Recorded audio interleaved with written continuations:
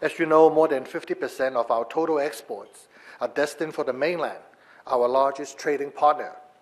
CEPA, our free trade agreement with the mainland, certainly helps fuel those exports.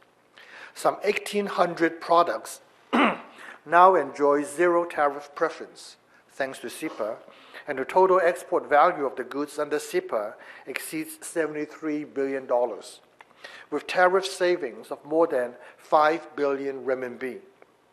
And rest assured, we shall continue to explore other ways to enhance the competitiveness of Hong Kong products in the ever-expanding mainland market. The development of the Belt and Road Initiative will certainly increase the volume and intensity of international trade and investment flow among the economies along the twin corridors of the Belt and the Road. It will also expand two-way traffic in and out of mainland China. Hong Kong is the natural financial, business, and trade hub of the Belt and Road.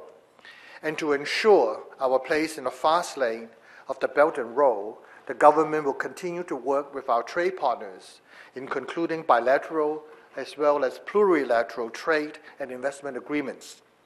We also have plans to streamline our customs clearance arrangements and strengthen cooperation with economies along the Belt and Road on border control issues.